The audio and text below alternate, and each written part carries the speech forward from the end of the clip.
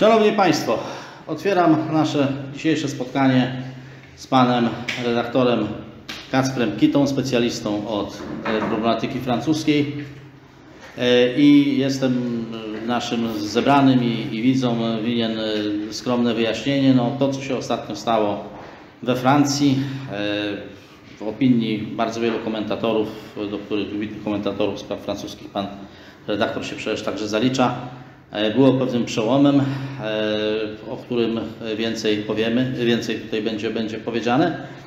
Przełomem w kraju, który od początku średniowiecza współtworzył e, cywilizację Zachodu w niespółmiernie większym stopniu niż e, inne narody, tak to można powiedzieć.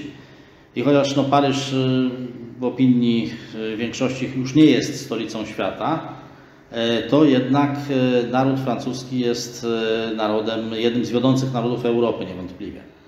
E, a wobec tego to, co się e, tam dzieje, obchodzi wszystkich Europejczyków, także środkowoeuropejczyków. I to jest właściwie, można powiedzieć, e, byłby wystarczający motyw dlatego, żeby się tym problemem zająć, ale ja bym wskazał na jeszcze, na jeszcze jeden motyw. Obserwujemy coś, co dla mnie jest zagadką, mianowicie E, pisano o tendencjach samobójczych narodu polskiego w naszej publicystyce politycznej. A przecież to, co widzimy, to są tendencje samobójcze narodu francuskiego, przodującego, wiodącego narodu Europy. E, to wymaga wyjaśnienia i to wymaga wyjaśnienia specjalisty i dlatego liczymy tutaj na specjalistę od tego zagadkowego kraju. Z mojej strony to jest wszystko. Dla osób, które przybyły po raz pierwszy, przypominam, że wszelkie pytania, uwagi i zwischenrufy po wypowiedzi prelegenta. Oddaję głos panu redaktorowi. Bardzo serdecznie dziękuję za zaproszenie, bardzo serdecznie dziękuję wszystkim, którzy przybyli na spotkanie i wszystkim, którzy e, oglądacie. Mm, rzeczywiście dzieje się we Francji ciekawie i tutaj to, ta, ta aluzja do, do Aleksandra Bocheńskiego jest rzeczywiście, myślę, myślę trafna, e, bo rzeczywiście mm, we Francji jest, jest ciekawie dlatego, że coraz trudniej mówić o jednym narodzie francuskim. Tak naprawdę mamy społeczeństwo, czy też no, zbiór jednostek żyjących na jednym terytorium, które są bardzo głęboko podzielone politycznie, etnicznie, religijnie, materialnie. E, i które tu, tu, tutaj tak naprawdę dla mnie naj, najtrafniejszą metaforą jest użyta przez zresztą zupełnie mainstreamowego badacza, dyrektora w IFOP, czyli we francuskim plus minus odpowiedniku naszego Cebosu, Jeroma Fourqueta, który jedną ze swoich książek zatytułował Francuski archipelag. Myślę, że w kategoriach takiego właśnie archipelagu, wysepek ludzi, których bardzo wiele dzieli, a niewiele łączy, możemy dzisiaj rozpatrywać to, to francuskie społeczeństwo, bo to, to, to określenie chyba jest jednak trafniejsze niż francuski naród, chociaż oczywiście oczywiście mamy dalej, mamy dalej ludzi, którzy się bardzo mocno identyfikują z francuskim narodem i mamy ruch, o którym tutaj pisze, ruch Zjednoczenie Narodowe, dawniej Front Narodowy, który, który no już po, po 52 latach pierwszy raz wygrał wybory parlamentarne, w tym sensie, że uzyskał pierwszy wynik, ale e, w drugiej turze przez ten mechanizm specyficzny większości, chociaż stał się pierwszą partią w parlamencie, no to większości nie uzyskał w Zgromadzeniu Narodowym, czyli we francuskim Sejmie, żeby być precyzyjnym, bo to niższa izba parlamentu tylko. No i rzeczywiście mamy tutaj do czynienia ze zderzeniem ciekawych, ciekawych zjawisk. Z jednej strony środowisko, które zaczynało jako środowisko wyraziście nacjonalistyczne, wyraziście antysystemowe, dzisiaj stało się już dość, no, dość normalną w cudzysłowie partią, która też dokonała pewnych, pewnych zwrotów, czy też pewnej ewolucji ideowej, o czym, o czym oczywiście z chęcią zaraz więcej powiem. Z drugiej strony jednak cały czas zachowując te afirmacje tożsamości narodowej i kontestację przede wszystkim polityki migracyjnej e, oraz zasadę suwerenności państwa narodowego właśnie, jako prymarną, w tym swoim podstawowym, podstawowym przekazie, co zresztą w taki typowo francuski sposób jest dzisiaj głoszone jako coś, co powinno stać się uniwersalne. Tak? Marine Le Pen de deklaruje na przykład, że tak jak jest deklaracja praw człowieka, to powinna być również przyjęta powszechnie deklaracja praw narodów, zgodnie z którą każdy naród powinien mieć suwerenne prawo, żeby swoją, swój własny system polityczny kształtować w zgodzie ze swoją, swoją własną kulturą, swoim własnym dziedzictwem. Co też pokazuje taką pewną hybrydę z jednej strony tego dziedzictwa rewolucyjnego, którego e, formy są tutaj do pewnego stopnia przejęte z pewnymi treściami, które, które miałyby być jednak w swoich, e, w swoich skutkach no jednak ten, ten porządek, porządek liberalny czy demokratyczno-liberalny przynajmniej, przynajmniej, przynajmniej no nie no, w, w dalekim stopniu jednak, jednak kontestować. E, więc od początku mamy mm, w książce o, o, o tym pisze Jean-Marie Le Pena, e, człowieka, który e, no, zaczynał zupełnie, zupełnie na dole, można powiedzieć, społecznym. Zaczynał jako, jako syn prostego rybaka, prostej, prostej chłopki w małej wsi w Brytanii. Mm, gdzie jego, jego dziadkowie jeszcze nie umieli czytać i pisać. Jego rodzice byli pierwszymi, którzy się tego nauczyli, a on z kolei był pierwszym, który e, zdobył wykształcenie, wyjechał do, e, wyjechał do Paryża, mm, no i zaangażował się również, również politycznie. E, jego, e, jego życie, tak naprawdę jego młodość już, już u, u, ukierunkowały powiedzmy do pewnego stopnia te, te poglądy, ponieważ no, jego młodzieńcze lata przypadły na czas II wojny światowej. Le Pen urodził się w czerwcu 28 roku, więc jak miał 11 lat zaczęła się II wojna światowa mm, i jak miał lat 12, no to Niemcy weszły do, do Francji. I to doświadczenie wojenne jest ważne również dlatego, żeby zrozumieć te tendencje samobójcze, o których tutaj Pan mówił, ponieważ w ogromnym stopniu te, ten lęk, który jest cały czas silny w dużej części francuskiego społeczeństwa, lęk przed e, tak zwaną skrajną prawicą, przy, mimo, mimo tego, że oczywiście to pojęcie już dawno jest, jest, jest mocno nieaktualne, ale lęk przed, przed lepenami e, jest cały czas e, obecny ze względu, w dużej mierze ze względu właśnie na te, na te traumy obu wojen. Tak? Jean-Marie Le Pen wspomina, że on jak był mały, no to na przykład ogromna część kobiet w miejscowości chodziła na czarno, no bo po prostu bardzo, wie, bardzo wielu mężczyzn nie wróciło. Tak? Mniej więcej jedna trzecia mężczyzn, którzy poszli na front podczas I wojny światowej, nie wróciła. Mm, część wróciła też jako kalecy, niezdolni później do, do normalnej pracy, czy, czy, czy mający trudności z założeniem, założeniem rodziny.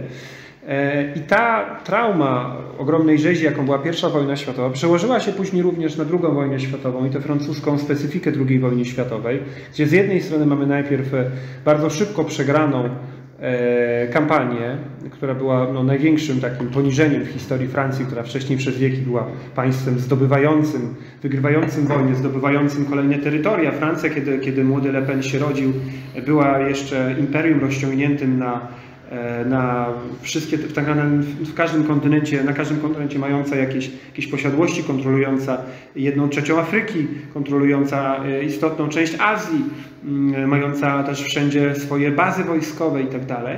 To dziś zresztą część tego imperium Francja, Francja zachowała, ale zasadniczo, tak jak to Jean-Marie Le Pen pisze w swojej, swoich wspomnieniach, w swojej autobiografii, tragedią mojego życia było, że kiedy ja rosłem, to Francja malała.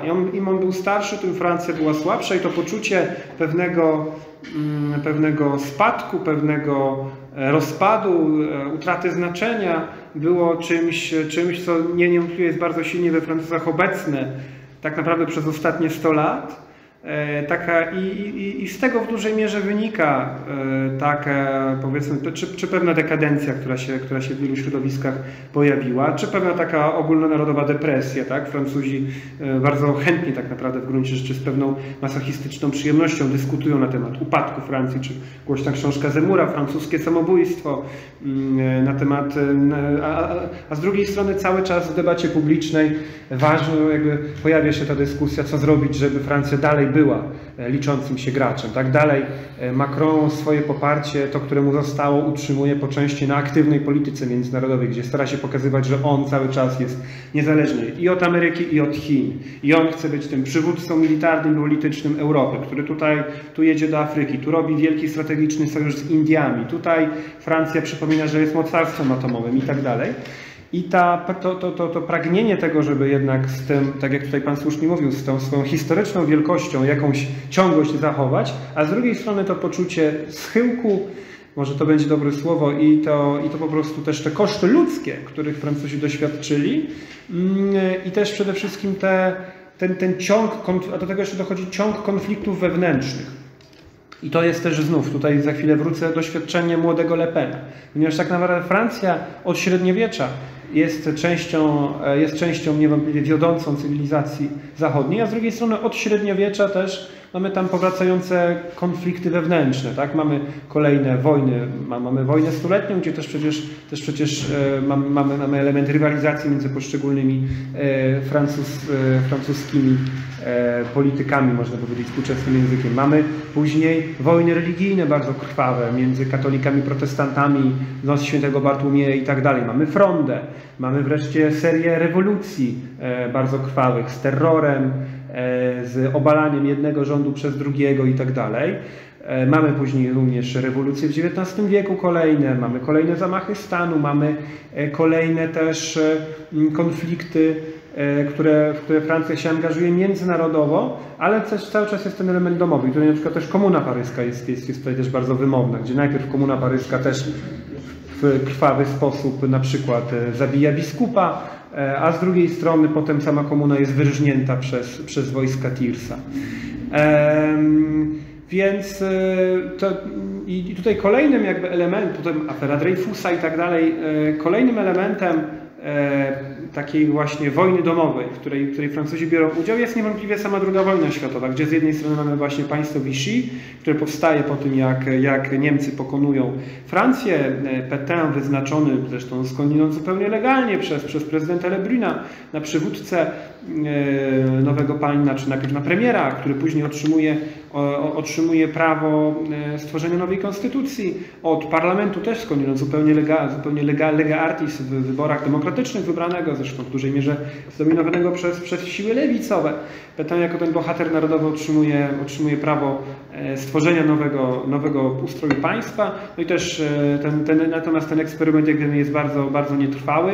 I tutaj przez kolejne kilka lat mm, z jednej strony ci Francuzi, którzy, którzy pozostają wierni państwu no, mającemu legalną ciągłość, ale jednak państwu realnie e, podporządkowanemu Niemcom, z drugiej strony ci Francuzi, którzy tworzą ruch oporu, E, a z trzeciej strony ci Francuzi, którzy, mm, którzy za granicą, w, przede wszystkim w koloniach, E, odwracają się stopniowo od państwa Vichy. Bo pamiętajmy, że Francja w 1940 roku przegrywa wojnę o Francję jako taką, o jej europejską część, ale jest mnóstwo wojska francuskiego właśnie w Afryce e, chociażby, czy w innych częściach świata i później te wojska mają, najpierw mamy różne takie właśnie przykre, czy miejscami śmieszne, e, komiczne w gruncie rzeczy epizody, kiedy jedni Francuzi są w stanie się strzelać z drugimi Francuzami, bo część Francuzów jest po stronie aliantów, część jednak jest cały czas po stronie Vichy, ale stopniowo, stopniowo te siły, te siły w państwach kolonialnych również przechodzą na stronę, na stronę aliantów, wraz z tym jak też staje się coraz bardziej jasne, że Niemcy wojnę przegrają. No i później mamy e, Mamy 44 rok, e, kiedy, kiedy Niemcy zostają wypchnięte z, z Francji.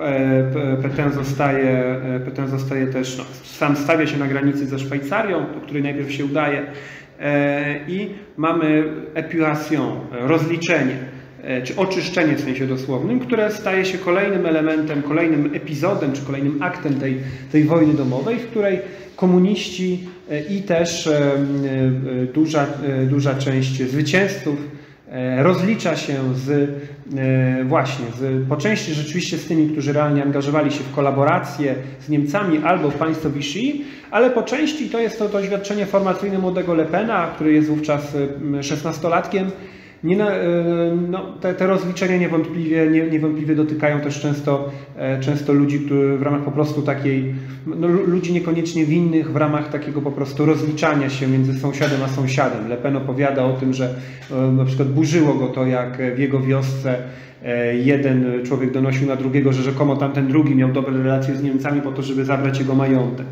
Albo, że burzyło go, że kobietom, które na przykład były pokojówkami u Niemców i tak pracowały, y, na przykład też głowy, prawda? E, z drugiej strony Le Pen szerzej uważa za moralnie usprawiedliwioną również kolaborację z, z Niemcami, to rzeczywiście bardzo daleko posuniętą, tak? Na przykład później broni tych, którzy angażowali się w, do słynnej dywizji Charlemagne, Karol Wielki, czyli postać ta historycznie łącząca Francuzów i Niemców, E, którzy po prostu pojechali na front wschodni w imię walki z bolszewizmem.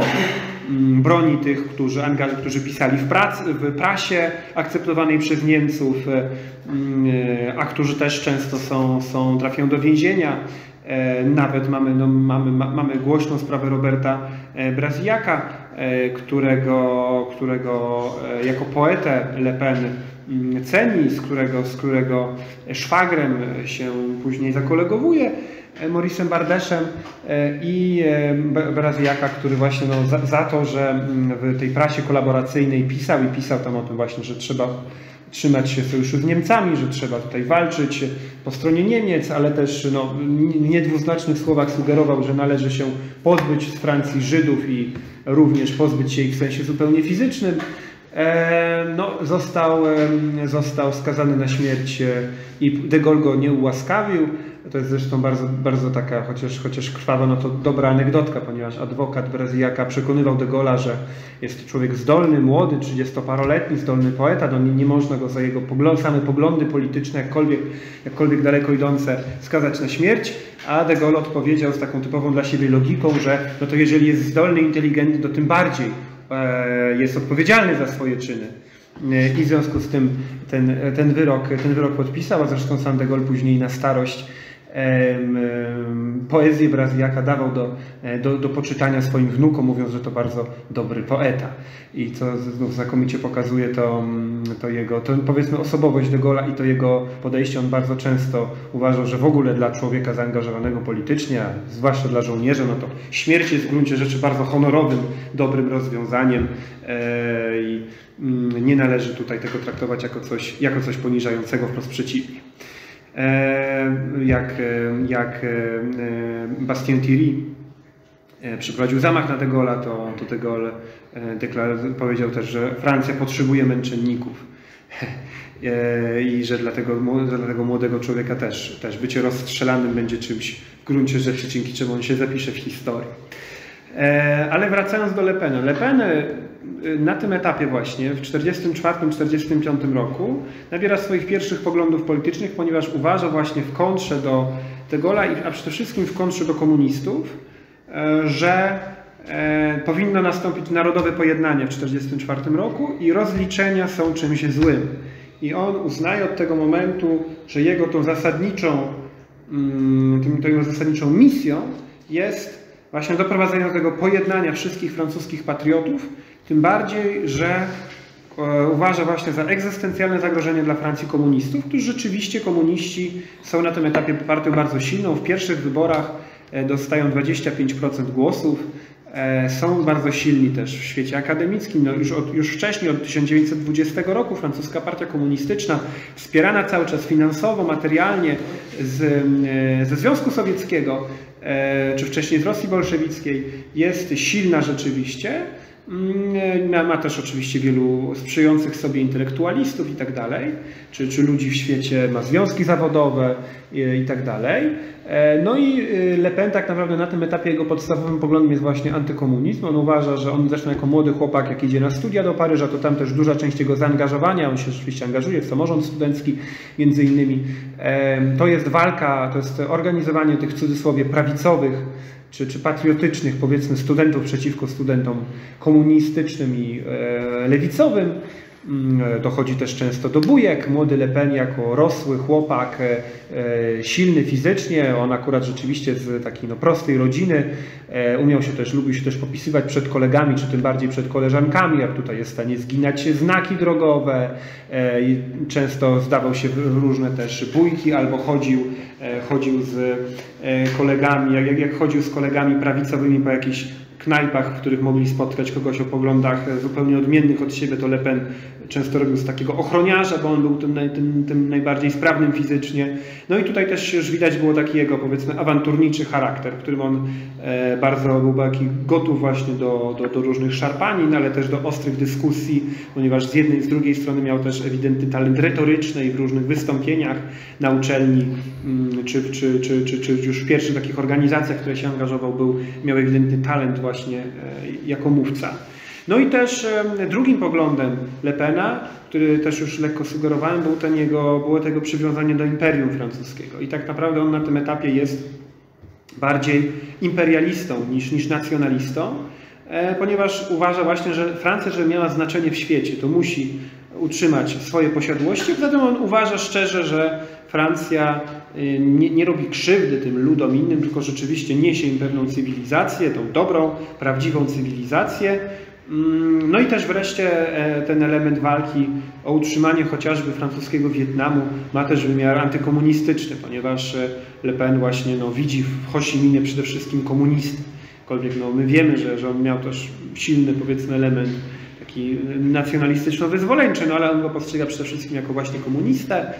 E, wie też, że wśród Wietnamczyków samych są, są, są ludzie e, bardziej, bardziej jakby z tą kulturą francuską zaznajomieni, e, konwertyci na, na chrześcijaństwo i tak dalej. No i Le Pen jedzie po, po studiach, co też pokazuje jego charakter, zaciąga się jako ochotnik do, do wojska, konkretnie do Legii Cudzoziemskiej, przechodzi kilkumiesięczne szkolenie we Francji i chce właśnie bić się w Wietnamie za francuskie Indochiny.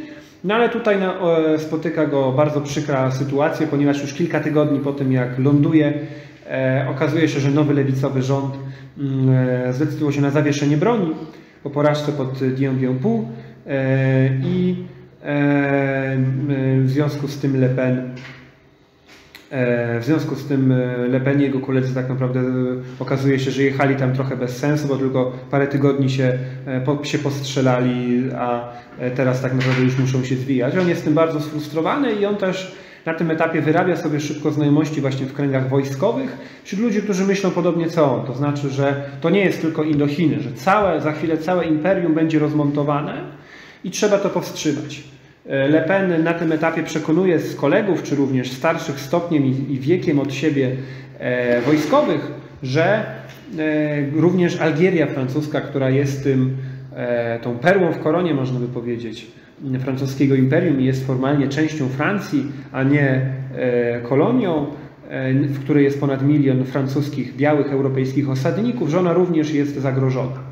Wielu to wyśmiewa, uważa, że to nie jest, nie jest możliwe, żeby e, Algieria została stracona, no ale rzeczywiście kilka miesięcy później wybucha powstanie w Algierii.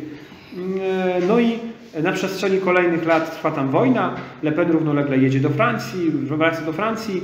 Mm, tam e, angażuje się w ruch Pierre'a Poujada, takiego, takiej E, no to, to, taki ruch populistyczno-drobnomieszczański, ale też, też e, kontestujący, e, kontestujący rządy, rządy lewicy, mając też takie elementy no, antysemickie, chociażby tam wypominanie właśnie Mendesowi Francowi, że jest Żydem.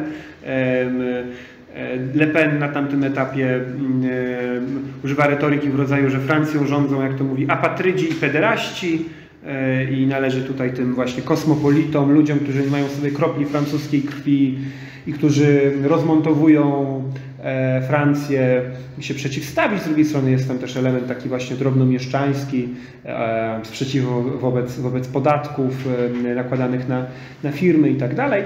Mm, Le Pen, jak zostaje bardzo młodo posłem, jako 27-latek, i, ale szybko jego drogi z Purzadem się, się rozchodzą. On też jedzie do, właśnie zaciąga się znów, wraca do swojej jednostki, deklaruje, że chce jako poseł dać przykład francuskim mężczyznom, mm, e, żeby się też zaciągali. On jedzie na pół roku e, i najpierw no, docelowo do Algierii, najpierw bierze też udział jako spadochroniarz w e, kryzysie w kanale sueskim, zakończonym znów po kilku dniach. Znów ma poczucie, że Francja upokorzona, ponieważ misja się nie powiodła. Później Algieria, gdzie kilka miesięcy Le Pen bierze udział w działaniach przeciwko właśnie przeciwko FLN. Mm, no i tam się też pojawiają te, te oskarżenia o to, że brał udział w torturach, jakkolwiek wydaje się to mało prawdopodobne. Mm, on sam temu, on sam temu zaprzecza, jakkolwiek, jakkolwiek jednocześnie usprawiedliwia stosowanie tortur jako takich. To jest mało prawdopodobne faktograficznie, żeby on sam rzeczywiście, o co był oskarżany, e, je przeprowadzał. E, Le Pen oczywiście uzasadnia, że, ter, że jak się łapie kogoś podejrzanego o terroryzm, kto może na przykład wiedzieć, gdzie jest jakaś bomba, to jak najbardziej jest uzasadnione, żeby starać się z niego wydobyć siłą informacje dla dobra ludności cywilnej mm, i tak dalej. No i e, Le Pen wraca później i dochodzi do przewrotu we Francji w 1958 roku. W związku z kryzysem algierskim jesteśmy blisko wojskowego zamachu stanu. Do władzy wraca de Gaulle. Le Pen uzyskuje reelekcję jako już poseł niezależny, wtedy jedyny raz wygrywa w jednomandatowym okręgu wyborczym. No ale, ale po czterech latach ten mandat traci, no i stopniowo rzeczywiście i Francję jako taką, i francuską prawicę przejmuje de Gaulle. Gaulle, który kończy z, który no decyduje, się, decyduje się po prostu poddać Algierię, uznając, że podtrzymywanie walki o Algierię jest bez sensu, ponieważ jest to tylko w gruncie rzeczy większe obciążenie dla francuskiego państwa i również dla francuskiej mocarstwowości, próba utrzymania tego państwa, jakakolwiek wiara w integrację ludności arabskiej z francuską tam jest, jest bez sensu. 9 milionów Arabów nie da się przekonać wszystkich, żeby byli lojalni wobec Francji. Trudno już lepiej niech ten milion Francuzów europejskich wróci do, do Francji. No i to jest też ciekawy moment w ewolucji środowisk właśnie narodowych, tożsamościowych we Francji, ponieważ wiele z nich angażuje się na tym etapie po stronie Algierii francuskiej, również w ramach organizacji tajnej armii, słynne, słynne OAS, do którego sam Le Pen nie przystępuje, no ale ma tam bardzo wielu kolegów. On sam wybiera cały czas drogę, powiedzmy, legalnej polityki, ale ma tam wielu, wielu znajomych i, i również tych męczenników OAS broni, chociażby generał Salan, który, który no, był dowódcą OAS, wcześniej próbował przeprowadzić pucz przeciwko De Gaulle'owi, a po złapaniu groziła mu kara śmierci. Le Pen też się angażuje w jego, w, w jego obronę. I również po tym, jak wypada z parlamentu, zaczyna zajmować się sprzedawaniem, czy prowadzi firmę, która, która sprzedaje płyty, płyty z różnymi nagraniami. I to są głównie piosenki patriotyczne, wojskowe, ale również również treści historycznej, między innymi właśnie nagranie z procesu generała Salana, czy nagranie z dźwięku z egzekucji Bastiena Tilliego, tego zamachowca, który próbował zabić tego w 1962 roku. Te rzeczy robią, robią rzeczywiście robotę i Le Pen jest w stanie przez kolejne kilkanaście lat utrzymać się z, takie, z no, tak, treści, które są w dużej mierze zbieżne z jego, z tymi jego poglądami narodowymi, patriotycznymi, ale też, ale też nie zawsze. Czasem też są tam treści historyczne po prostu z innej zupełnie bańki ideowej i oczywiście jest mu tam zarzucane, że były tam też również przemówienia Hitlera, czy Petena, czy, czy materiały Mussolini, ale, ale no faktem jest, że był tam też w stanie na przykład sprzedawać materiały o Leninie czy de Gaulle'u, więc ludziach, których ewidentnie nie lubi, jakkolwiek te, te, te, te prawicowe wyraźnie przeważały. No i ciekawy moment w ewolucji jest taki, że stopniowo, i to również jakby Le Pen swoją drogą, a środowisko jakby francuskiej szeroko pojętej prawicy swoją drogą, przechodzi stopniowo właśnie z tych pozycji imperialnych na pozycje mm, tożsamościowe.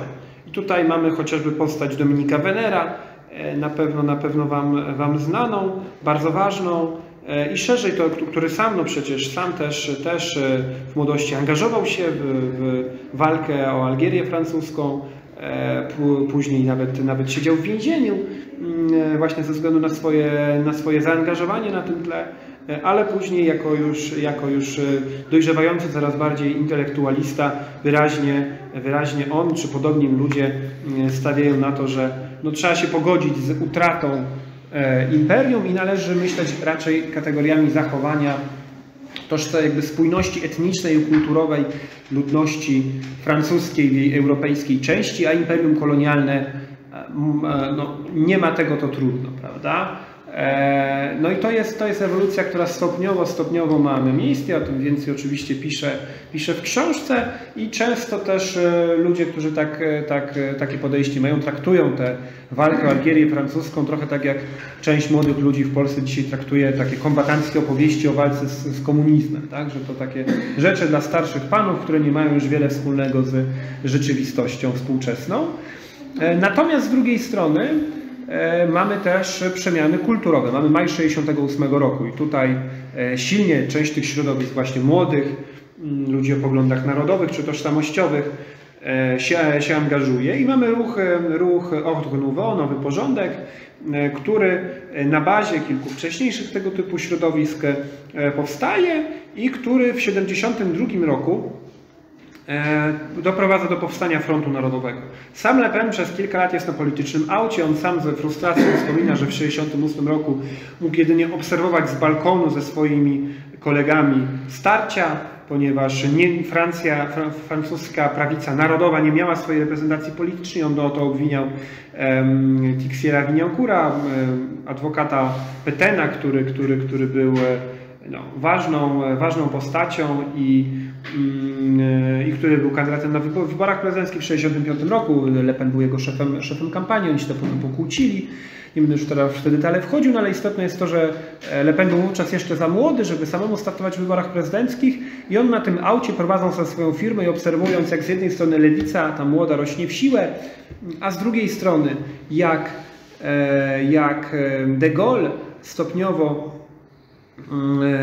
się jakby wyczerpuje, no już ma prawie 80 lat i że niedługo e, to kolejne pokolenie golistów będzie dominować na prawicy francuskiej, e, no ma ewidentnie przekonanie, że jest przestrzeń, którą on powinien, którą on powinien wejść, a z drugiej strony właśnie ci młodzi narodowi rewolucjoniści, którzy piorą się z młodymi lewakami na ulicach Paryża i innych miast, chcą kogoś, kto będzie wyglądał trochę poważniej niż dwudziestoparolatek, kto będzie już miał coś sobą reprezentował, miał jakiś dorobek, no i pada na Le Pena jako tego 44-letniego, e, ani za młodego, ani za starego, byłego posła dwóch kadencji, weterana, e, jako kogoś, kto byłby dobrą taką twarzą nowego ruchu. Chcą też, mamy też równolegle we Włoszech e, sukces Movimento Sociale Italiano, partii też postfaszystowskiej, narodowej, która pod nowym przywódcą, pod nowym przywódcą Almirantem E, osiąga swój najlepszy dotychczasowy wynik, no i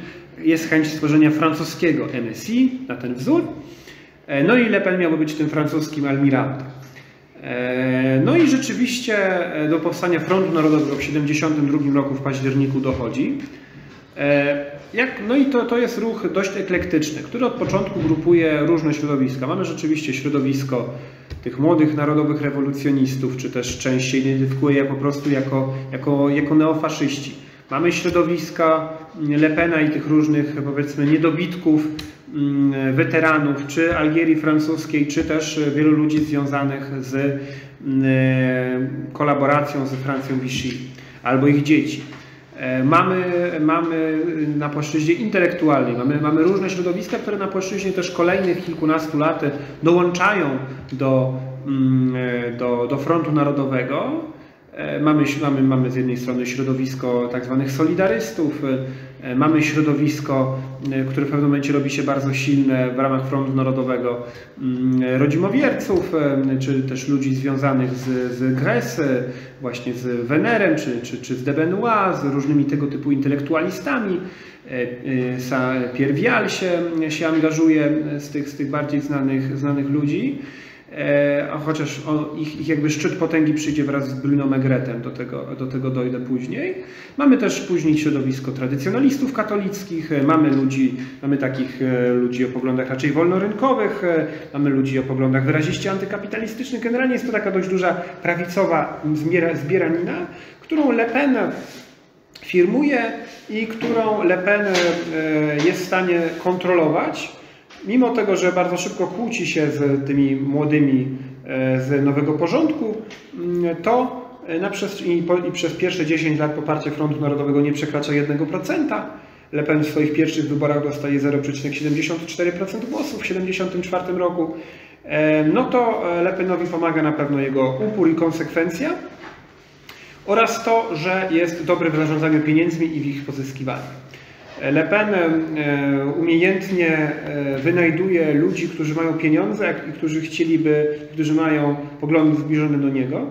I przede wszystkim w 1976 roku e, zostaje, czy wcześniej zostaje, a wtedy, a wtedy realnie dziedziczy majątek po człowieku, który nazywa się Hubert Lombert i który był dziedzicem wielomilionowej fortuny z rodzinnej firmy, która ileś pokoleń pracowała i on sam jest chorowitym, młodym człowiekiem, e, który ma poglądy takie właśnie nacjonalistyczne. No i e, on się tam kręci w tych środowiskach. Le Pen go poznaje i Le Pen go, się z nim zaprzyjaźnia, wprowadza go do partii, on finansuje część działań partii, ale jest też właśnie człowiekiem chorowitym, raczej, raczej aspołecznym, a do tego jeszcze dochodzi, dochodzi alkoholizm. E, i po śmierci matki, z którą, z którą tenże e, nieco ekscentryczny młody milioner mieszkał, on się prawdopodobnie po prostu zapija na śmierć. E, ale Pen zostaje, który wcześniej, którego wcześniej matka i on sam uczynili spadkobiercą, zostaje samym milionerem. Zresztą mamy tam całkiem barwne wydarzenia, ponieważ e, mamy tam zamach na życie Lepena niedługo potem, mamy jego gorący spór o ten majątek z kuzynem zmarłego, dyskusje na temat tego, czy to ten kuzyn był odpowiedzialny za, za zamach, czy przeciwnicy polityczni. To jest wszystko bardzo, bardzo ciekawe i o tym szerzej w książce piszę. To jest też zresztą e, moment, w którym, w którym powoli wkraczają w dorosłość mm, e, córki Lepena, sama Marine Le Pen, czyli najważniejsza z nich, która właśnie w wieku 8 lat ma to swoje formacyjne doświadczenie, kiedy po prostu jest zamach na ich życie, kiedy jest bomba właśnie w tymże 76 roku podłożona pod ich mieszkanie. E, no i budzi się po prostu w środku nocy, widzi, że całe jej, całe jej łóżko jest w odłamkach szkła, e, widzi, że jest wielka dziura w ścianie, mm, E, słyszy krzyki swoich sióstr. Po chwili się okazuje szczęśliwie, że, nikt, że żadna z nich nie zginęła. No ale, ale, ale, są, e, ale te pierwsze, pierwsze minuty są, są na pewno bardzo, bardzo trudne. No i potem się też okazuje, że rodzice też nie zginęli, ponieważ akurat szczęśliwie pokoje, w których oni spali, były daleko od klatki schodowej, a to przy klatce schodowej podłożono bombę. E, no ale, ale e, Lepenowie muszą być ściągnięci przez straż pożarną z piątego piętra. Małe, dla, dla ośmioletniej dziewczynki, mm, e, którą strażak musi brać na ramiona i ściągać, a wcześniej, wcześniej przez chwilę myślała, że, że, że ona, jej siostry i rodzice mogą być zabici. No było to niewątpliwie, było to niewątpliwie bardzo traumatyczne doświadczenie, które też, które też no, jeżeli gdzieś szukać klucza do, do, w ramach psychologizowania, klucza do psychiki Marine Le Pen, to na pewno jest to, e, jest to istotny, istotny mm, element. E, no i Jean-Marie Le Pen na przestrzeni kolejnych lat, wykorzystując to, że zdobył pieniądze, wcześniej też jako przedsiębiorca był w stanie się utrzymać, więc w tym zarządzaniu pieniędzmi był na pewno dobry. On też e, później na przestrzeni kolejnych lat rozwija szerzej taką, powiedzielibyśmy, działalność trochę na wnuczka, to znaczy znajduje sobie kolejnych starszych ludzi, którzy, mm, którzy mają pieniądze i którzy E, którzy no, nie mają jasnego dziedzica, którzy mają prawicowe poglądy, zachęca ich, żeby wspierali e, Front Narodowy, a najchętniej, żeby, żeby zapisali mu majątek w testamencie. Ma też, ma też e, przezwisko Harpagon, ponieważ e, mimo tego, że te pieniądze ma, to je wydaje bardzo oszczędnie i e, jego działacze później narzekają, że czasem nie są zapłacone rachunki na, na prąd, mimo że wiedzą, że Le Pen ma ileś tam milionów, to oni muszą siedzieć przy świecy, ponieważ on chce, jak, jak jego nie ma, to woli oszczędzać na świetle i takich anegdotek jest bardzo dużo. No faktem jest, że stopniowo, stopniowo zbudował partię, która w dogodnym momencie, kiedy zaczyna się, kiedy we Francji zaczyna się przebijać temat imigracji pozaeuropejskiej, na początku lat 80., szybko wskakuje z poziomu 1% poparcia na poparcie dwucyfrowe. E, w tym oczywiście jest zasługa też wielu działaczy, m.in. właśnie wspomnianego przeze mnie Jean-Pierre'a Stirbois.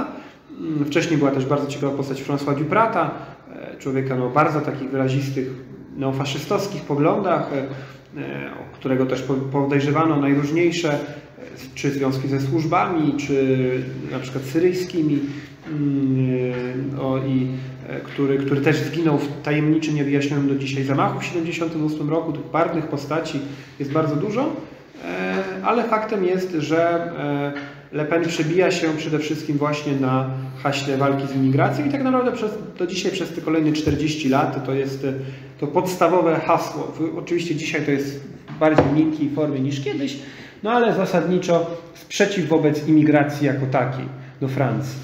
Mm, e, uzasadniany zarówno tym, że zarówno toż, tożsamością kulturową, e, narodową, jak i, jak i e, etniczną, jak i, jak i po prostu względami gospodarczymi, tak tym, że jak to jest w jednym, w jednym z haseł mm, Le Pena, milion imigrantów to milion francuskich bezrobotnych. No i E, też mamy do tego klimat taki, że w 1981 roku e, lewica francuska pierwszy raz po dwudziestu kilku latach dochodzi do władzy, wygrywa wybory, Mitterrand zostaje prezydentem, więc zamiast tej centroprawicy czy centrum mamy wyrazistą lewicę, komuniści wchodzą do rządu i trochę w kontrze do nich też Front Narodowy się niewątpliwie jako taka wyrazista opcja alternatywna przewija. Mm, no i też e, stopniowo, stopniowo e, staje się to partia licząca się. Tak? W 1986 roku wchodzi pierwszy raz do Parlamentu Krajowego, też dzięki temu, że Mitterrand zmienia ordynację po to, żeby właśnie Front Narodowy wprowadzić, a osłabić golistów mm, i z kilku innych przyczyn. Le Pen zostaje znowu posłem po 24 latach. E, startuje na prezydenta w kolejnych wyborach i to jest moment, w którym, w którym on się tak naprawdę jest, jest, jest, naj, jest być może najsilniejszy, ten 87 rok. E, Le Pen na tym etapie staje, jest taką schodzącą gwiazdą, e, ma poparcie właśnie rzędu ponad 10%, jeździ, jeździ już na przykład na turnę, gdzie spotykają się z nim senatorowie Partii Republikańskiej, Pinochet, prezydent Filipin Marcos, premier Japonii, tego typu ludzie już go traktują poważnie.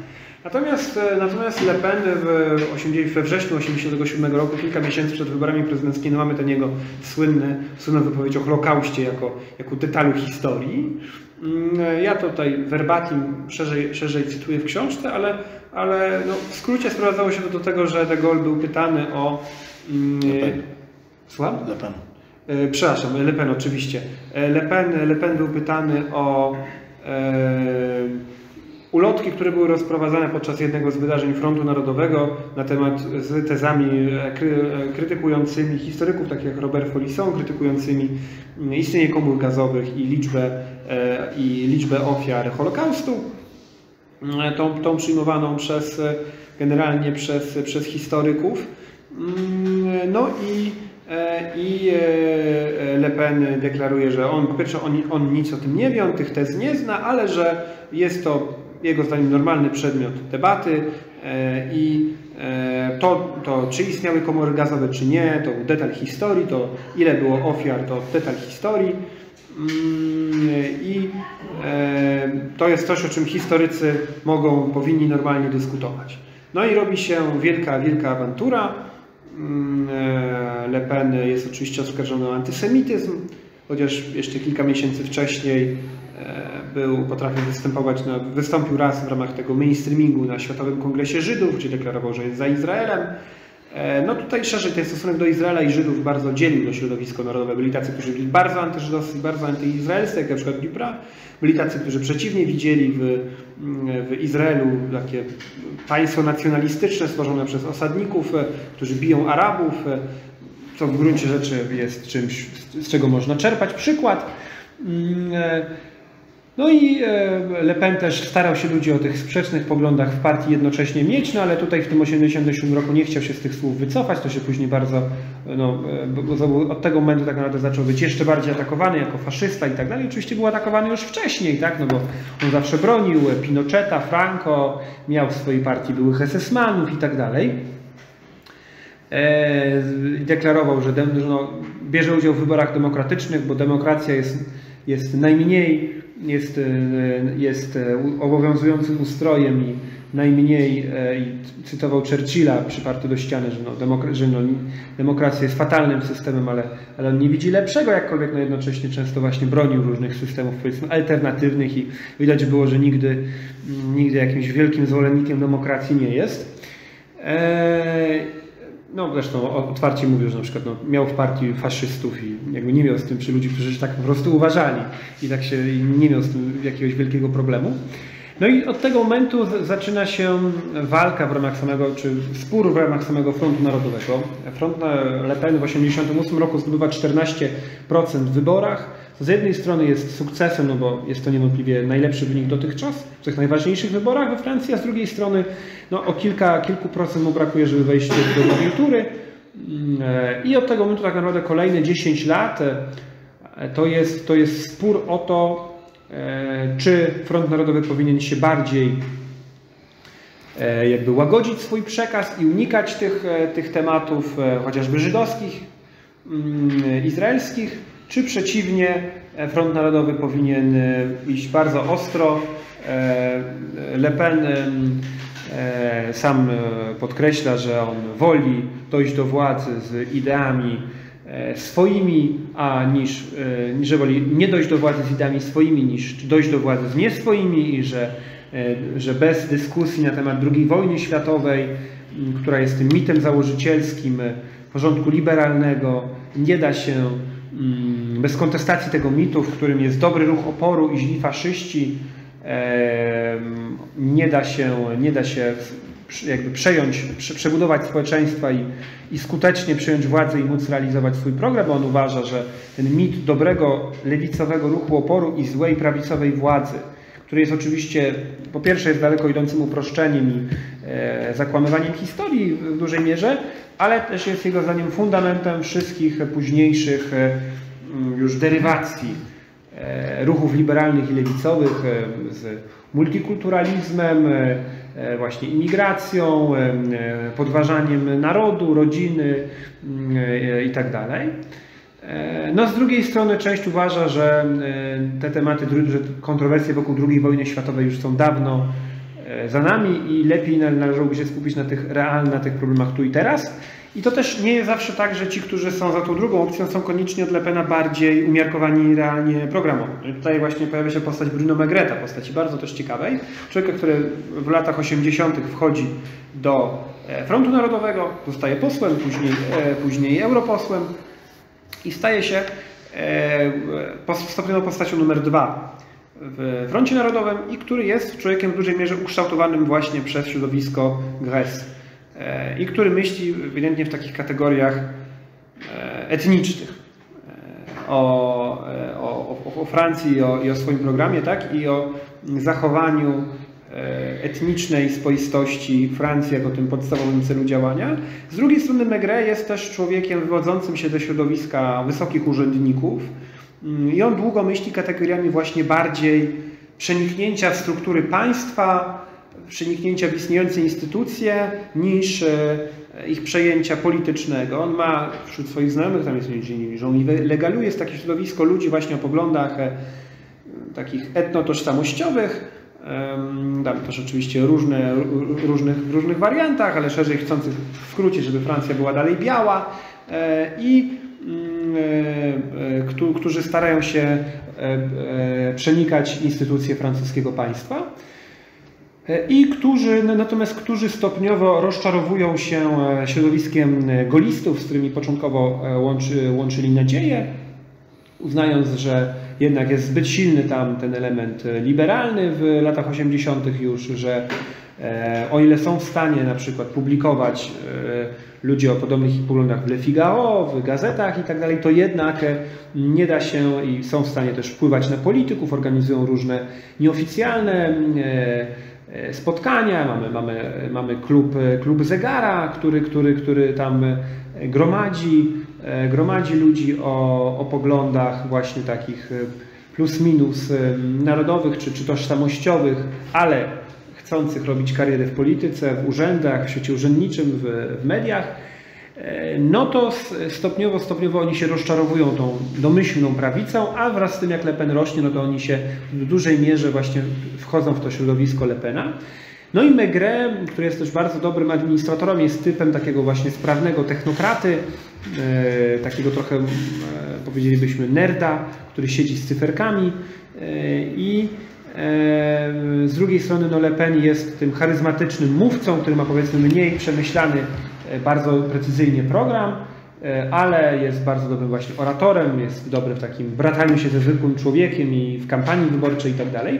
Oni stanowią dość zgrany duet, który na przestrzeni kolejnych 10 lat, taki komplementarny, który na przestrzeni kolejnych 10 lat e, sprawia, że Front Narodowy się, staje się rzeczywiście silną partią również na poziomie lokalnym i że w kolejnych samorządach na przykład pojawiają się radni Frontu Narodowego, że Front Narodowy nie dostaje już dobrych wyników tylko w wyborach prezydenckich, czy najlepszych wyników w wyborach prezydenckich, gdzie jest to znane nazwisko Le Pena, ale że doszlusowuje mm, e, do tych dobrych wyników e, również Front Narodowy w innych wyborach. Natomiast z drugiej strony, im starszy robi się Le Pen, im bardziej Le Pen robi się bliżej 70, tym bardziej Megre ewidentnie, który jest młodszy od niego 21 lat, i tym bardziej chce zająć jego miejsce i tym bardziej też część e, tych ludzi z jego otoczenia uważa, że Le Pen tymi z kolejnymi swoimi wypowiedziami, e, aluzjami na przykład do tego, że ten czy inny dziennikarz ma żydowskie pochodzenie, mm, no po prostu, e, że jest to bez sensu i to szkodzi E, partii, której celem powinno być dojść do władzy, stworzyć, e, stworzyć e, koalicję z golistami i stopniowo i w tej koalicji realizować, realizować swój program, narzucić golistom swój program. Oni tam mają rozpisane intelektualnie wizję tego, że sprowadzą najpierw golistów do, do używania ich własnego języka, a później Megra jego środowisko, a później mm, e, jakby w, będą w stanie na nich wymusić to, żeby oni weszli z nimi w koalicję a, i żeby realizowali przynajmniej częściowo ich, ich program, przede wszystkim ograniczenia, o, ograniczenia imigracji. E, I również oczywiście suwerenności wobec Unii Europejskiej. Ten temat też coraz bardziej się przebija wraz z tym, jak, jak e, Unia Europejska w kolejnych swoich formach coraz bardziej su suwerenność francuskiego państwa e, ogranicza. No ale Le Pen przeciwnie, Le Pen jest coraz bardziej w trybie tego, że właśnie lubi, jak jest o, nim głośno, lubi te kolejne skandale, mm, lubi prowokacje, lubi na przykład w 1997 roku są wybory parlamentarne, w których Le Pen, co bardzo charakterystyczne, jedzie na, do okręgu, w którym jest jego córka kandydatką, nie Marine, tylko Marika Holin, starsza córka kandydatką w drugiej turze. I tam szarpie się z, e, z e, burmistrz, miejscową burmistrz socjalistką, która jest konkurentką jego córki, szarpie ją za ubranie, krzyczy mamy cię dość, mamy cię dość. E, wdaje się w jakieś tam szarpaniny z jakimiś miejscowymi lewakami, krzyczy na jednego z nich, że no uciekaj pedale, uciekaj, zaraz cię dogonię. Tego typu, tego typu, a, tego typu rzeczy robi, potem się cieszy do kamery, że a, czuję się, czuję, co mnie, to mnie odmładza. Jak prawda, trochę się, trochę się poszarpie z jakimiś lewakami na ulicy. Mm, e, potem oczywiście ta burmistrz, wielki skandal, on tutaj, prawda, przemoc wobec kobiety i tak dalej. E, no i zresztą jego córka wówczas przegrywa minimalnie to głosowanie, nie zostaje posłem. I iluś ludzi właśnie ma przekonanie, trochę tak jak u nas było. Nie, nie, lubię do końca tego porównania, no ale w Polsce jest, jest bardzo wiele różnic, ale w Polsce najprędzej no jest oczywiście to porównanie z Korwinem, tak, że on też ileś razy po prostu odpalał ten protokół 1% jakimiś swoimi kontrowersyjnymi wypowiedziami. No i Le Pen też ileś razy ten protokół, to powiedzmy nie było w ich wypadku 1%, tylko bardziej protokół 10%. Także e, zamiast, e, albo protokół 15%, że zamiast dwudziestu kilku, o które chcieli powalczyć, no to znowu spadali na poziom, na poziom tych 10, no i byli fajnie, ale też ze względu na ordynację francuską nie mieli posłów, albo mieli jednego posła i byli izolowani, tak. Bo, no, no bo też tym na przykład radnym Frontu Narodowego było trudniej, trudniej stworzyć koalicję i ten kordon sanitarny wokół nich E, się, się wraz z tymi kolejnymi aferami, czy aferami, kontrowersjami pogłębia. No i w końcu dochodzi do rozłamu w 1998 roku, w którym Megre próbuje przejąć Front Narodowy, odchodzi z nim e, koło połowy e, radnych i tak dalej. E, Le Pen e, wygrywa w sądzie prawo do nazwy, E, no i też w kolejnych wyborach okazuje się, że nie, da, że nie ma lepenizmu bez Lepena, to znaczy mimo tego, że Megre stara się e, pokazać się jako ten młodszy Le Pen, ale bardziej właśnie kompetentny, przygotowany, zdolny do rządzenia, mm, e, tam mający program gospodarczy, mający właśnie poważny i tak dalej, no to okazuje się człowiekiem po prostu bez charyzmy, typem takiego urzędnika, który był dobry jako numer dwa, ale nie jako lider, a podczas gdy Le Pen w gruncie rzeczy może i, i, i, może i jest e, tak naprawdę pod pewnymi względami mniej radykalny od Megreta, no bo Le Pen jednak zawsze na przykład podkreśla, że e, są ci zasymilowani Arabowie i tak dalej, że, że, że, że to jakby, że, że jest to pewna mniejszość, która, e, która może być, mm, że można jakby stać się Francuzem, jeżeli człowiek się zasymiluje, ale, ale jest to, ale, może, ale jakby dotyczy to tylko to, to raczej jednostek, e, no to, mm, no to no, gdzie, gdzie Megre, jego środowisko raczej jest tutaj dość, dość, dość takie powiedzielibyśmy bardziej zero-jedynkowe, no to oni też jednocześnie są bardziej chętni na to, żeby bawić się w politykę jako tworzenie koalicji i żeby unikać tych najbardziej kontrowersyjnych wypowiedzi w tematach, w tematach żydowskich.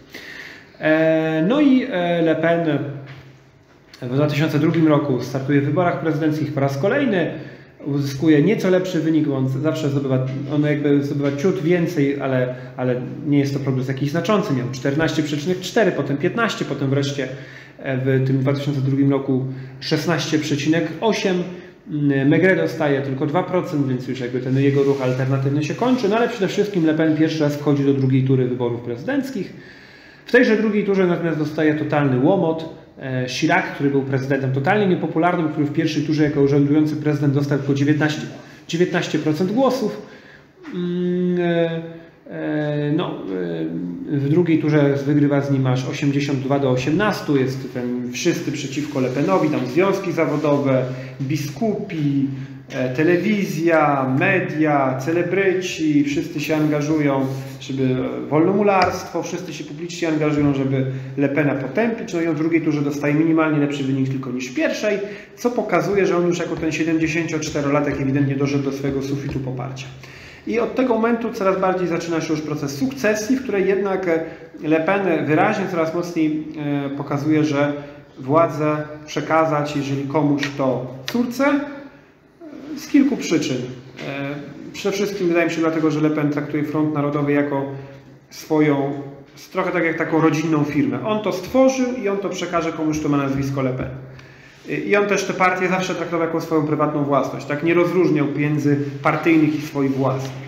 Mm, e, Nie miał przekonania, że wszelka krytyka jego jako takiego uważał, że no, wszyscy ci ludzie, którzy są radnymi, europosłami i tak dalej, zawdzięczają to mi, e, ponieważ ja stworzyłem tę partię, ja ją kierowałem, kiedy ona nic nie znaczyła, więc mogę z nimi zrobić co chcę. E, I niewątpliwie takich sytuacji, w której on swoich, swo, wszystkie swoje córki tak naprawdę zatrudnił w partii, wszystkie trzy ich, e, ich mężów, e, właśnie tutaj różnych e, członków rodziny, znajomych i tak dalej, e, faworyzował, no było tego ewidentnie bardzo, bardzo dużo. No a z drugiej strony też e, wydaje mi się, że to jest po prostu taki, taki no, instynkt e, który dość często jest e, wśród takich e, przywódców, że no, kto mnie może zastąpić? Tylko moje dziecko byłoby tego godne, nikt inny z tych moich byłych podwładnych, których, których znam przecież, nie jest, nie jest godny tego. E, A Marine Le Pen jest ewidentnie to najbardziej mm, sprawną politycznie, no jest też ulubioną córką ojca. E, Jest najmłodsza, zawsze, zawsze była bardzo mocno ojca broniła, kiedy, mieli, kiedy matka ich zostawiła, kiedy, kiedy ojciec był atakowany w mediach i tak dalej. E, Jakkolwiek jest też jasne od początku, że Marine Le Pen chce przeprowadzić tę dediabolizację, tak? chce, e, chce partię, sprawić, żeby partia była bardziej umiarkowana w swoim przekazie, co gruncie rzeczy ma dość różne, różne formy. To znaczy na przykład mało kto pamięta, że w 2007 roku, kiedy jeszcze Jean-Marie Le Pen ostatni raz startował na, na e, prezydenta, a Marine Le Pen mm, pierwszy raz e, mm, była już wiceprzewodniczącą partii, była kluczową postacią w kampanii, no to na przykład wówczas jej bliskim doradcą był być może znany e, Alain Soral. Człowiek, który no, jeżeli ma jakieś poglądy, to antyżydowskie i e, który miał wówczas ideę, mm, e, ideę pozyskania części e, Arabów poprzez i włączy, poprzez w, gruncie- rzeczy antysemityzm. To znaczy, e, czy no, po- poprzez narrację antyżydowską, antyizraelską, m, przekonanie ich do właśnie do, do, do, do wspólnej, walki, wspólnej walki z sionizmem. I rzeczywiście Jean-Marie Le Pen, którego przemówienia wówczas przygotowywali Marine Le Pen i Soral, no to właśnie podtrzymywał tę narrację antyżydowską, antyizraelską, a jednocześnie mówił, że no, e, wy, e, młodzi z przedmieść, e, możecie tutaj być włączeni w ten naród, jeżeli, e, e, jeżeli będziecie tego, e, jeżeli podejmiecie ten wysiłek, jeżeli będziecie tego chcieli mm, i tak dalej. To był znów powrót do takiej bardziej powiedzmy imperialnej, imperialnego podejścia do tożsamości, które, które u Le Pena zawsze trochę było. Mm, No ale później po, to, to ewidentnie nie wypaliło, to znaczy tych, tych młodych Arabów chętnych głosować na Le Pena w imię wspólnej walki z Żydami było po prostu niewielu. E, A równocześnie też Le Pen był już stary i zużyty, mm, więc został w 2007 roku słaby wynik, no i do tej, do tej linii programowej Marini już później nie wracała. Mm, e, W, ale myślę dość dobrze pokazuje jej daleko idącą elastyczność programową. E, W, mm, no i w 2011 roku ona oficjalnie zostaje przewodniczącą partii i e, stopniowo no, dwie zmiany, których dokonuje w pierwszej kolejności, to jest zmiana oczywiście tego, że przestaje mówić te rzeczy o Żydach e, i mówi, że wi- wiadomo, że był Holokaust, komory gazowe i tak dalej, nie będziemy już na te, tych tematów poruszać, ale z drugiej strony mm, wyraźnie idzie w narrację taką antykapitalistyczną, solidarystyczną. I to jest ciekawe, ponieważ tutaj też widzimy ślady, e, ślady tego środowiska, środowiska Gres, e, które ewidentnie na iluś ludzi w otoczeniu Marine wpłynęło. Mm, I rzeczywiście, e, rzeczywiście takie, e, takie no wyraźne akcenty właśnie, że liberalizm jako ta siła, która e, niszczy, e, która niszczy wspólnotę, niszczy, e, które, jak, jak to Ma- Marin mówiła, liberalizm jest wszystkim, tylko nie wolnością. I te- Ale też te, te, te, kładzenie akcentu, że my bronimy naszej własnej tożsamości w imię tego, żeby każdy, każda społeczność etniczna miała prawo do swojej kultury, prawda? Że Afrykanie u siebie, Azjaci u siebie, my Europejczycy u siebie, mm, to jest coś, do czego my mamy prawo, oni mają prawo. To już nie jest ta narracja, no to jest oczywiście coś, co było obecne już od lat 70., ale Marin to bardzo wyraźnie afirmuje. E, I te akcenty kolonialne, powiedzmy, są, są absolutnie, absolutnie passé, absolutnie e, wyrzucone. E, No i bardzo mocno właśnie akcenty, akcenty antyliberalne, solidarystyczne i również, również kalkulacja czysto polityczna, że trzeba, że już wcześniej na Le Pena, głos na starego Le Pena trochę bardziej głosowali robotnicy niż, niż powiedzmy ludzie z klasy średniej i wyższej, to trzeba totalnie pozyskać robotników narracją właśnie antyimigracyjną i, solidarystyczną, że źli imigranci zabierają wam miejsca pracy, źli liberałowie e, właśnie nie chcą, nie chcą was zadbać. E, e, tutaj, tutaj, a tutaj, jak to Le Pen mówiła, prawica zdradziła naród, lewica zdradziła lud. No i ona stopniowo na tym e, pozyskuje e, coraz, coraz wyższe poparcie.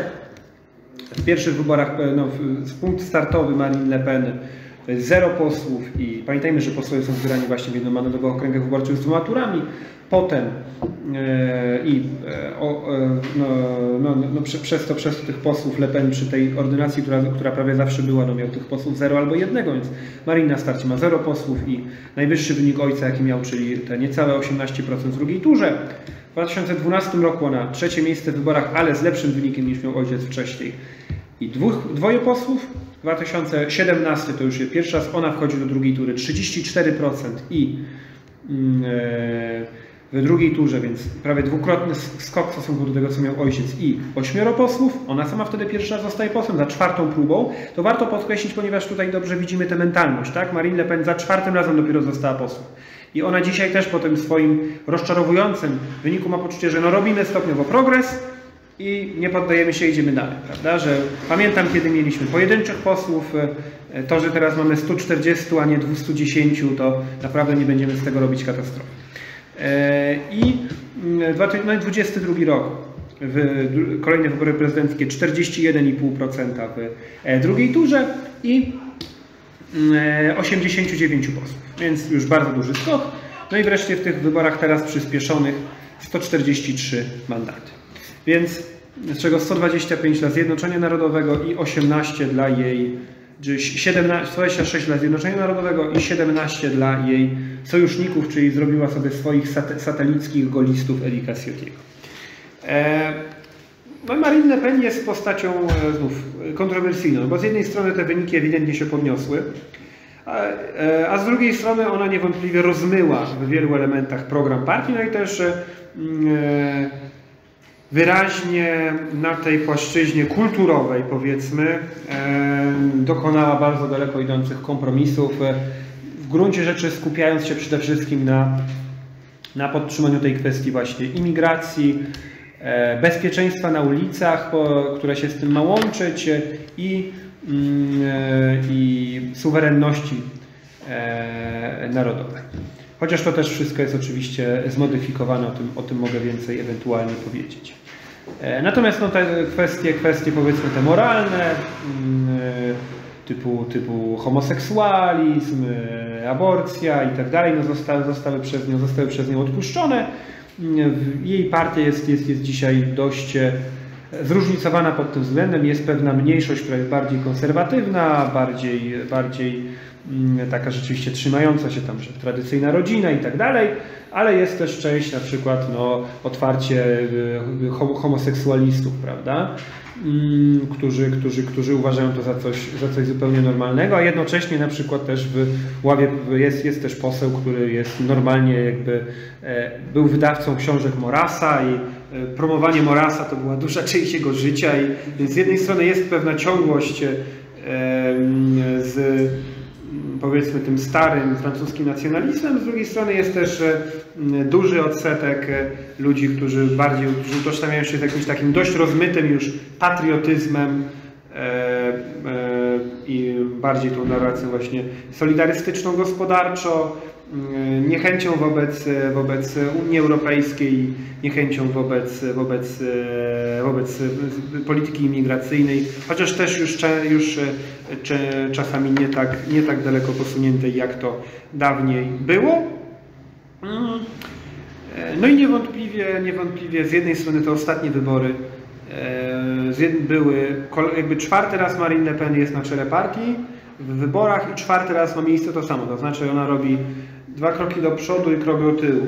To znaczy z jednej strony wyraźnie buduje większe poparcie, ale potem, ale potem na ostatniej prostej traci poparcie w stosunku do sondaży, które jest znów zawsze znacząco wyższe niż w poprzednich wyborach, ale jednak też niższe niż, niż dawały jej sondaże. Zawsze na ostatniej prostej Marine Le Pen do tej pory traciła. No i to jest coś, z czym ona, z czym ona no, na, na, przyszłość no, będzie miała zawsze problem. Znów, teraz też sondaże pokazują jej, że wybory prezydenckie, które będą ostatecznie najważniejsze, ona by powinna minimalnie wygrać, no ale przy tych sondażach i przy tym, przy tym mechanizmie można się też brać pod uwagę zupełnie scenariusz, że w wyborach prezydenckich skończy się to kolejnym progresem, ale jednak porażką na przykład 48% w drugiej turze, prawda?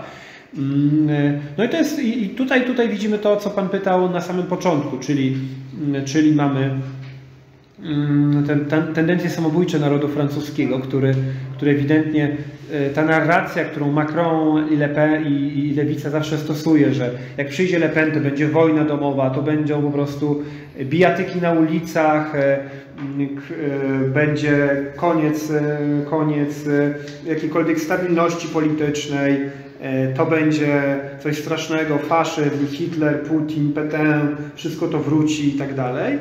Mm, to straszenie, które jak widać cały czas e, oddziaływuje zwłaszcza na, na, na starsze pokolenia, bo Le Pen ma najniższe poparcie właśnie wśród najstarszych, którzy też najlepiej pamiętają, mm, najlepiej pamiętają jej ojca i, i, e, e, i, naj, i też najbardziej są przywiązani powiedzmy do, do, do, tych, do tych starych partii ale z drugiej strony też no, e, wśród młodzieży, młodzieży 18-24, no to z kolei jest bardzo silne poparcie dla, e, dla lewicy, gdzie Le Pen ma najsilniejsze poparcie wśród e, tych ludzi aktywnych zawodowo, między, między 30 a 60 rokiem życia.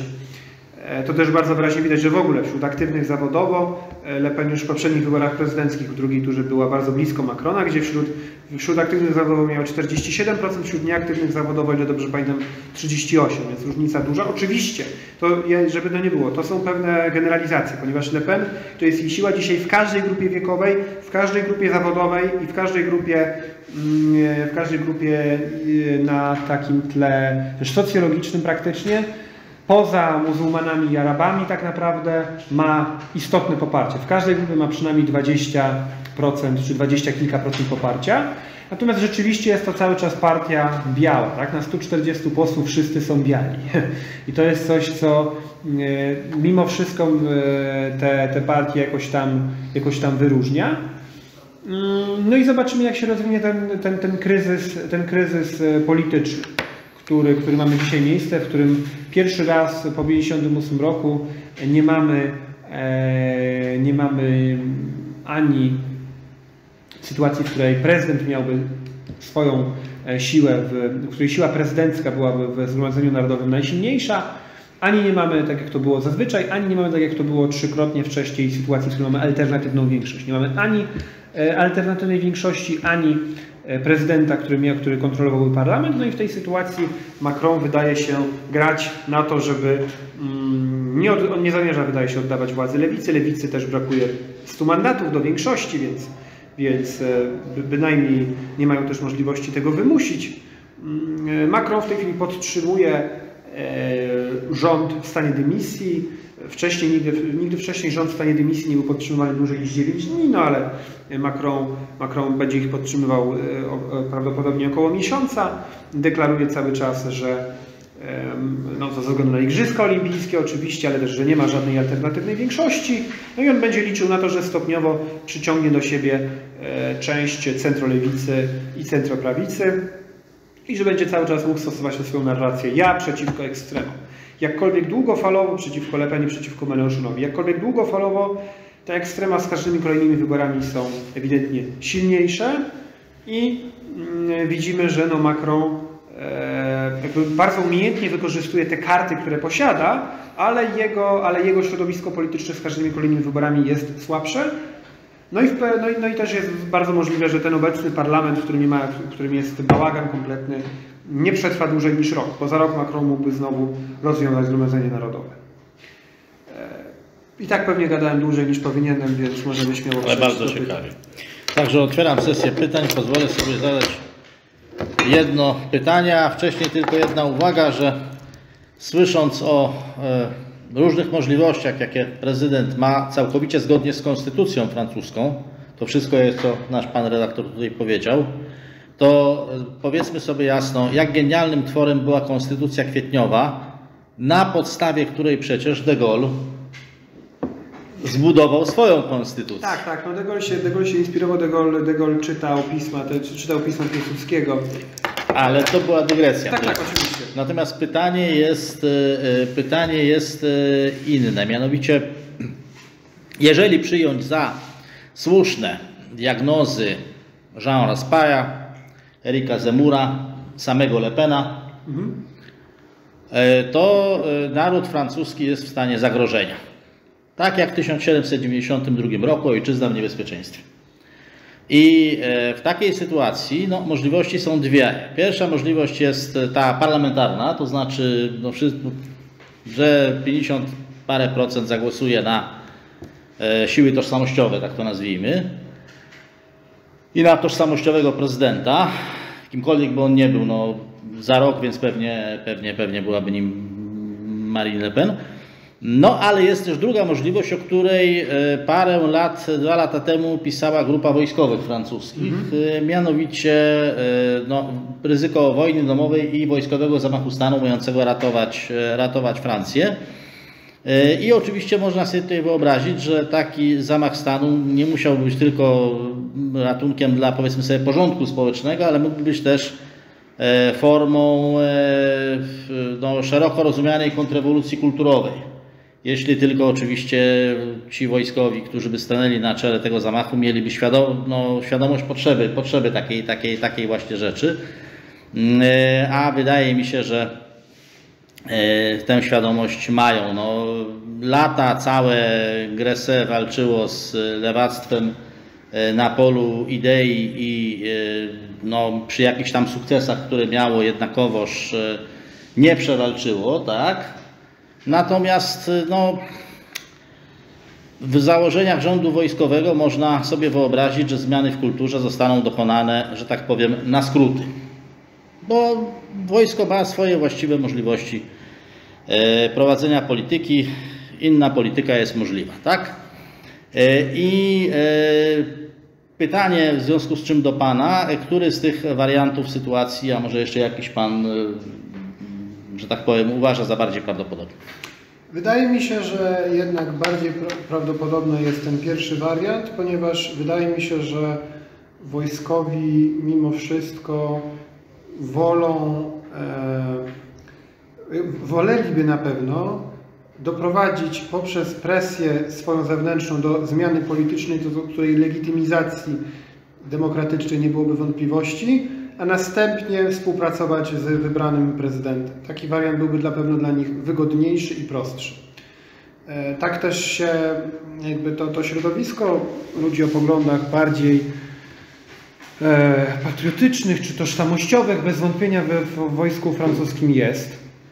Co jest poniekąd też kwestią, no, sam jak mam, mam takiego jednego znajomego francuskiego generała, robiłem z nim kiedyś wywiad, jestem z nim w kontakcie i e, byłego, byłego wiceszefa sił lądowych, on mówił, że no, jest ze wszechmiar naturalne, że, w takim, że do takich instytucji garną się patrioci, prawda? I e, na pewno, na pewno tak jest.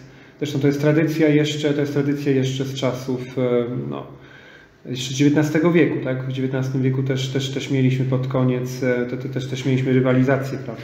W wojsku mieliśmy generałów e, na przykład bardziej katolickich, a mieliśmy generałów masońskich, mieliśmy, którzy starali się tych drugich wojskowych, e, mieliśmy generałów o różnych poglądach, w latach 60. Słynna afera z fiszkami. Tak, Pan mówi o koniec XIX tak, wieku. tak, tak, tak, tak, dokładnie, dokładnie. No, to, to, to dokładnie, to jest bardzo, bardzo charakterystyczne.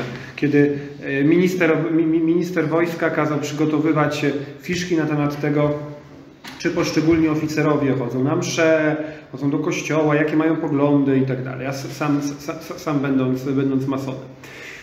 Natomiast no niewątpliwie też lata 50., ja to też starałem się tutaj zasygnalizować, lata 40., 50., 60. to jest okres, w którym wojsko jest niewątpliwie obecne. Tak? No Petain sam prawda, jako marszałek, de Gaulle jako generał, prawda? Salan jako przywódca, przywódca OAS też generał. Prawda? Natomiast od lat, no i w 58 roku rzeczywiście no, wojsko bądź co bądź zajęło Korsykę tak? i groziło rządowi zajęciem całości, ale zajęciem, zajęciem Paryża.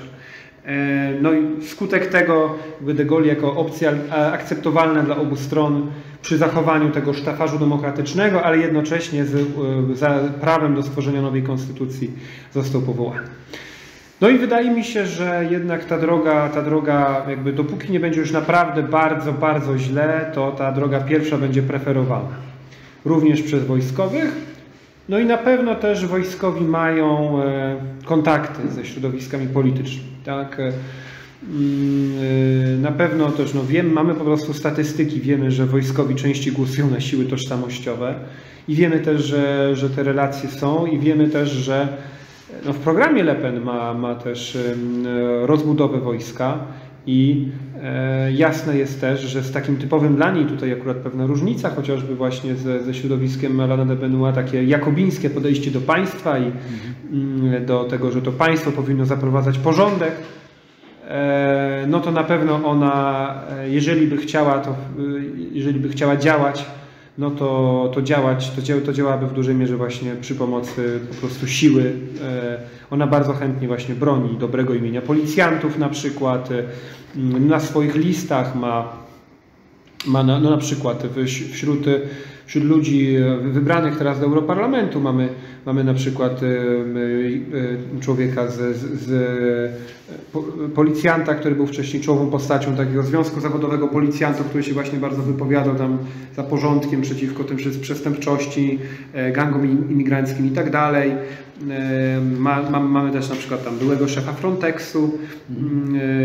więc tego typu, tego typu ludzi na pewno Le Pen stara się w swoją orbitę wciągać, no i liczyć na to, że, że, no i, że w końcu wybory wygra i że wtedy oni będą jej pomagać wojsko, policja, e, służby będą, jakby będą po jej stronie wtedy, kiedy na przykład nie po jej stronie będą na pewno elementy, inne elementy aparatu państwa, na przykład Rada Konstytucyjna będzie tutaj poważnym problemem, czy na pewno też część aparatu urzędniczego, który jest zdominowany przez, przez, przez lewicę.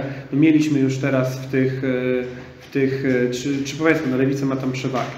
E, na pewno, na, na pewno no już, przed, przed, ostatnimi wyborami mieliśmy publiczne tam deklaracje urzędników, e, tam, że anonimowo tam iluś urzędników deklaruje w mediach, że jeżeli będzie premier ze Zjednoczenia Narodowego, to oni nie będą wypełniali jego poleceń i tak dalej. Więc z tego typu problemami Le Pen na pewno by się mierzyła i na pewno wojsko e, byłoby coś, na czym ona chciałaby się oprzeć, ale z drugiej strony też na pewno wydaje mi się, że i ona i sami wojskowi no, naprawdę będą jakby, będzie to już musiała być naprawdę ostateczność, żeby, bo po prostu jest to, jest to jednak coś, coś, coś bardzo kontrowersyjnego i wiadomo, ryzyk, ryzykownego też. Proszę bardzo. Chciałem zapytać, bo w sensie z problemu imigrantami, jak, jak nawiążę, ze względu na to, że takie partie jak Front Narodowy czy AfD w Niemczech zyskują populację, mhm. y, z wiadomo z jakich przyczyn, to czy może być tak, że gdy e, AfD dojdzie do władzy w Niemczech, co pokazuje, że wiem, coraz więcej Niemców chce Dexitu, a we Francji Frexitu, to czy może być tak, że e, doprowadzi się w końcu do tego, że Francja i Niemcy pójdą drogą e, Wielkiej Brytanii, czyli jak w Wielkiej Brytanii był Brexit, to czy we Francji i w Niemczech jest, w Niemczech będzie Dexit, a w, we Francji Frexit, co właśnie obala, że, co pokazuje właśnie, że to raczej Bruksela rządzi Unią, a nie Niemcy. Tak? No, myślę, że, że tutaj to jest rzeczywiście cie, cie, cie- ciekawe, że AfD niewątpliwie uważa, że to Bruksela, a nie Niemcy rządzą, chociaż oni by powiedzieli, że już to nie ci, którzy są niemieckimi patriotami, prawda? Mm, No, e, tutaj e, AfD ma rzeczywiście w programie, w programie e, Dexit, jeżeli nie będzie, no, jeżeli nie byłoby jakiejś znaczącej reformy Unii Europejskiej natychmiast, to oni chcą Dexitu i potem powołania jakiejś nowej, luźniejszej już wspólnoty państw europejskich. Front Narodowy czy Zjednoczenie Narodowe ma dzisiaj e, ciekawe, ma, dzisiaj jakby bez, e, nie, nie ma hasła Frexitu, ale ma ciekawy, ciekawy zabieg, takiego trochę próbę, powiedziałbym, e, tak- to jest właśnie typowe dla, dla Marine Le Pen, takiego trochę zamaskowania i trochę zjedzenia ciastka i posiadania ciastka. Znaczy ona w 2017 roku, w poprzednich wyborach prezydenckich, szła na haśle referendum w sprawie wyjścia z Unii. E, I, e, no, no i wtedy, wtedy była za to mocno atakowana i nie dostała, dostała wynik gorszy od oczekiwań.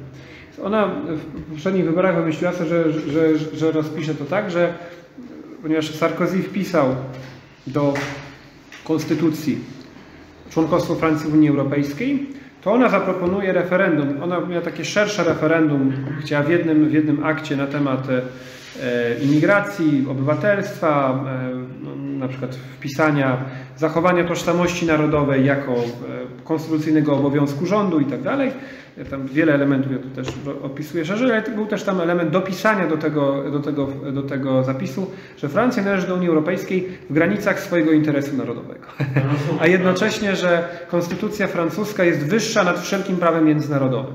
Czyli de facto wpisania sobie prawa do tego, żeby ignorować wszelkie prawo unijne, które byłoby dla niej, które Francja uznałaby za niezgodne ze swoim interesem Bo narodowym. nawiązałem do tego, dlatego że to kiedyś słyszałem wypowiedź Tomisława Sunicza, profesora, że żeby y, rozpadła się Unia, nie trzeba 27 tych, y, exitów, wystarczy tylko Dexit, Frexit oraz Croxit. Bo on jest A Chorwatem. tym jest Chorwatem, to, to, to rozumiem, że chciałby tam też Kroxit dorzucić. No tak. Jako Chorwacja jako ten kluczowy element Unii Jasne. Europejskiej. Proszę o kolejne pytanie, bo powoli nam Sprawa to... ukraińska. Proszę bardzo. Jak, jak? Sprawa ukraińska. Mhm. E, no to tutaj e, Le Pen e, rzeczywiście przez, e, no dobra, w skrócie, bo rzeczywiście, rzeczywiście mamy, mamy mało czasu. Le Pen no, do wojny była za współpracą z Rosją, w skrócie. Mm, Cho, mm, no, też też no, miało to swoje podłoże historyczne i tak dalej.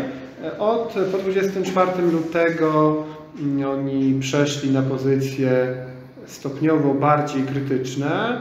No i dzisiaj, dzisiaj Marine deklaruje, że e, wsparcie dla Ukrainy tak, ale bez, ale bez wysłania francuskiego wojska, co sugerował Macron i mm, bez atakowania celów na terenie Rosji, e, no właśnie, bez atakowania celów na, na, na terenie Rosji i z dążeniem do tego, żeby ten konflikt zakończyć na drodze dyplomatycznej. Jednocześnie z popieraniem Ukrainy również w sposób militarny, na tyle, żeby Ukraina była w jak najlepszej pozycji negocjacyjnej. Więc z jednej strony Marine przeszła na pozycje powiedzmy bardziej, bardziej proukraińskie, ale z drugiej strony też, też pewien dystans wobec tego, jak daleko idzie Macron. Proszę, proszę bardzo. Mówimy tutaj o pewnym zmiękczeniu tej idei i wizerunku e, frontu przez Marine Le Pen. Na ile to jest faktyczne, na ile jest to zabieg PR-owy? Znaczy, czy faktycznie ta partia stała się taka bardziej szeroka i, i bardziej rozwinięta, czy to jest tylko taki zabieg, żeby po prostu zdobyć szerszą bazę wyborców? Wydaje mi się, że jest to, że jest jakby, jeśli chodzi o kadry, no to jest to jednak również faktyczne, to znaczy inaczej. Jest cały czas sama Marine Le Pen i e, wśród, i wśród jej otoczenia są niewątpliwie ludzie, którzy są wychowani w bardzo klasycznej, powiedziałbym, idei nacjonalistycznej, w rodzaju Philippe Olivier, czyli jej szwagier, mąż jej e, siostry starszej, który no, zaczynał jeszcze w latach, e, jeszcze tam w latach 80. jako działacz, e, przechodził te wszystkie etapy, odchodził razem z Megretem, potem wrócił e, mm, e, i pojawiają się oni, mojego bracie, co jakiś czas różne takie e, zabawne, e, e, ale dokazujące też jakby pewną ciągłość historii w rodzaju, że on na przykład e, na swoim, e, e, w swoim domu e, e, organizował przy okazji, nie, nie pamiętam tylko jakiego, no, w książce pisze, e, obchody któregoś, któregoś z tych świąt rodzimowierczych. Ale mm, że jakby, jak, jak to było wydane w wywiadzie, czy z perspektywy czasu, czy z perspektywy czasu dzisiaj, polityk emigracyjny mówił, że on jak był młody, no to i, i uważał, że tak trzeba było, żeby nie było po prostu żadnej imigracji do Francji i tak byłoby, tak byłoby najlepiej, tak byłoby najprościej, jakkolwiek dzisiaj, dzisiaj trzeba, trzeba działać w tych warunkach, które są. Więc bez wątpienia są tam ludzie, którzy, którzy tego takimi kategoriami myślą. Ale z drugiej strony jest też na pewno przez te ostatnie lata napłynęło dużo w ramach tego otwierania się na kolejne środowisko, napłynęło też iluś ludzi o bardziej miękkich poglądach, którzy mają po prostu takie miękkie poglądy patriotyczne, suwerennościowe, czy, albo też po prostu wywodzą się z różnych grup społecznych, które Le Pen identyfikowała jako, mm, jako do pozyskania. Tak? Le, Le Pen umie, umiejętnie na przykład właśnie chciała pozyskać policjantów, to brała sobie policjanta. Chciała pozyskać e, na przykład rolników, to brała sobie, to brała sobie jakichś ludzi ze środowisk rolniczych i tak dalej, i tak dalej. Więc e, czy na przykład chciała sobie pozyskać właśnie e, urzędników, no to wzięła sobie tego byłego szefa Frontexu, który deklarował właśnie, że Unia Europej, dla Unii Europejskiej imigracja to nie jest e, problem, tylko projekt i ja to widziałem od środka, no ale z drugiej strony ewidentnie przez, przez wiele lat pracował w aparacie państwa francuskiego. E, Więc ona na, ona na pewno też jakby wprowadziła do, do partii ludzi o, po, ludzi o poglądach bardziej, bardziej umiarkowanych.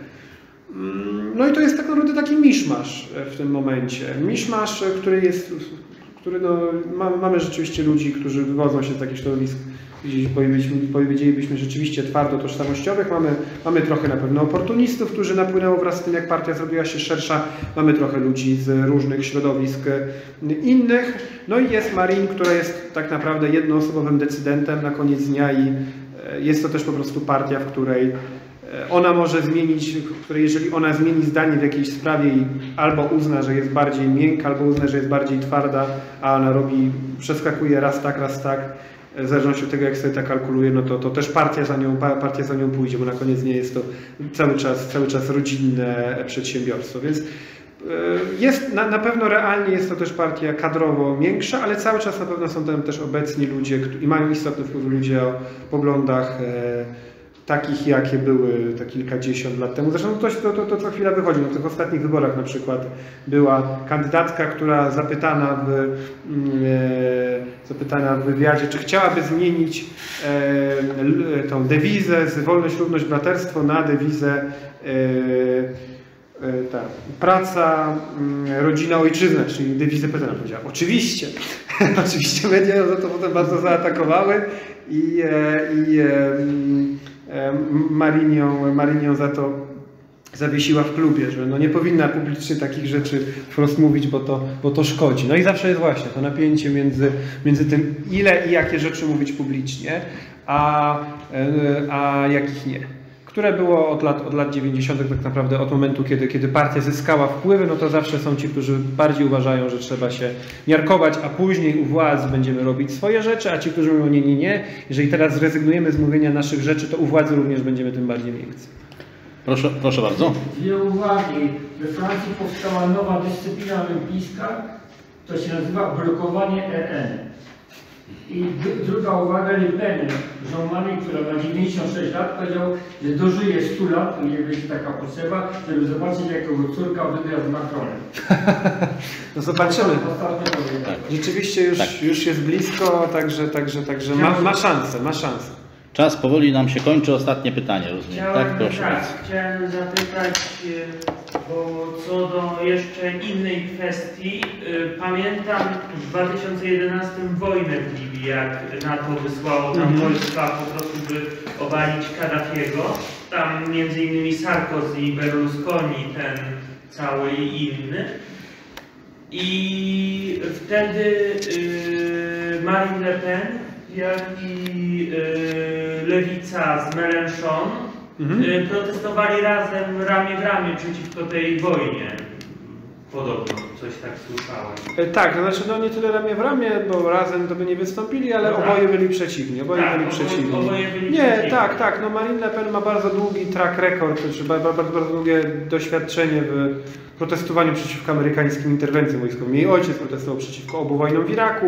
To, to, E, no, I ona, ona też przeciwko interwencji w Libii, ale ona też na przykład przez wiele lat, czy od wielu lat zawsze broniła Asada. E, Bardzo krytykowała pomysły, zresztą ostatecznie niezrealizowane, żeby, żeby Francja zainterweniowała lądowo przeciwko Asadowi.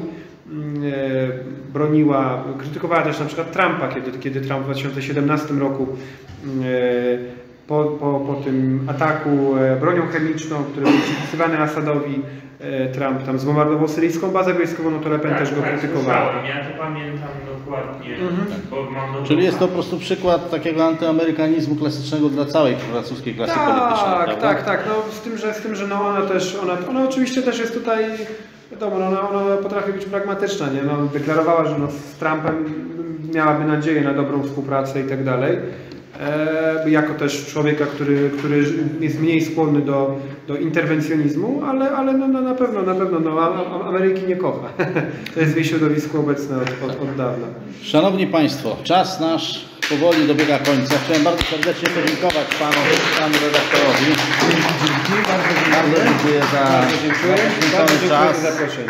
i mam nadzieję, że nie jest to nasze ostatnie Oczywiście, spotkanie. oczywiście. Dziękuję bardzo.